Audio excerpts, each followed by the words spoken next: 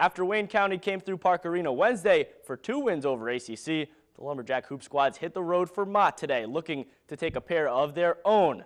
But it wasn't in the cards for the Jacks. The men falling to Mott 69-45. Kari Daly and Stephen Shepard each scoring 11 points for ACC in that one. And no better luck for the ladies, losing 73 to 41. Whitney Frazier with 14 and Courtney Holmes and Ashley Monticello, each chipping in six apiece.